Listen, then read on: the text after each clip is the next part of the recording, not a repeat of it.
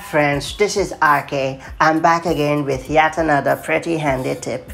Right now, I'm going to talk about how you can sort images in Photos app on your iPhone or iPad running iOS 14 or iPad OS 14. Just in case you want to keep everything perfectly organized, then this brand new feature can prove to be really helpful. So let's see how it works.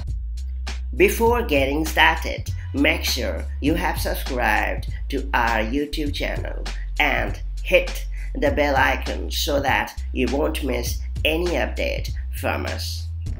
Now, to get started with Steps Launch Photos app and then make sure that Albums tab is selected and after that you have to choose the album which photos you want to sort. I'm going to select this album. Now you have to tap on the three dots button at the top right corner. Tap on it and then you have to choose sort in the menu.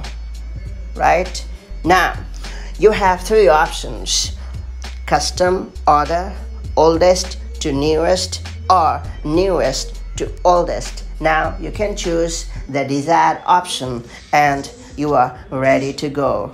So that's how you can perfectly sort out your photos in Photos app in iOS 14 on your iPhone and iPad. If you have found this guide helpful, then do like it and share it.